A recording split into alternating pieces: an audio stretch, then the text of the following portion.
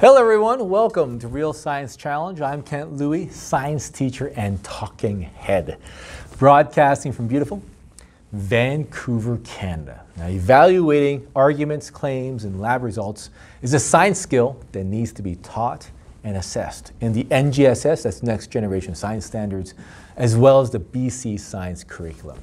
How do you do it? Today, I share two types of questions I generate for labs and tests to assess the evaluate skill. A quick reminder, the handouts for this episode can be found at realsciencechallenge.com slash EP51. And please subscribe to our YouTube channel.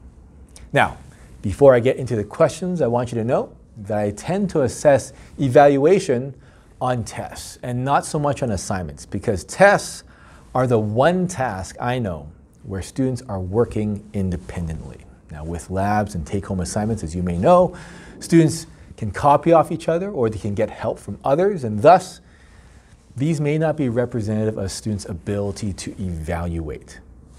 Now, evaluation also differs depending on context. Thus, I'm going to go over two of the most common ways I assess evaluation depending on the two different definitions of evaluation according to the curriculum. All right? So, definition number one evaluation is evaluating claims using scientific knowledge and findings from investigations. So, on a test, what I do is I give students an opinion or idea, and I ask them whether they believe the opinion or idea is true or false based on what they've learned. So, for example, on my quiz on KMT, that's kinetic molecular theory, I give this question on juicing lemons. And yes, juicing lemons is related to KMT. It says here lemons can be juiced by cutting a lemon in half and then pressing it against the dome of a citrus juicer. One day, Leo collected 15 mils of lemon juice using a citrus juicer.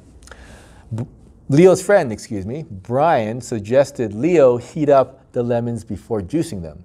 Brian said that heating up the lemon before juicing will result in more juice being collected. Do you agree with Brian's hypothesis? And of course, here it tells you what I'm expecting for an answer. Now, consider other wild claims you've come across and put those on a quiz for students to consider. The issue is not so much whether they're right or wrong, but more of how they've come up with their conclusion, their evaluation. Definition number two evaluation is identifying possible sources of error and suggesting improvements to our investigation methods. For this, I give students a lab activity to perform, which I already know the exact result they should get. And I need them to do the lab and compare it to that exact result. Even better, if the lab is something that is counterintuitive to what students believe. So, for example, in our pendulum lab, I have students measure how long it takes for pendulums of increasing mass to complete 10 swings if they all start from the same height. So, what happens is students construct a pendulum with one washer and they swing it 10 times and measure the time it takes to complete 10 swings. Then they create a pendulum with two washers and do the same thing.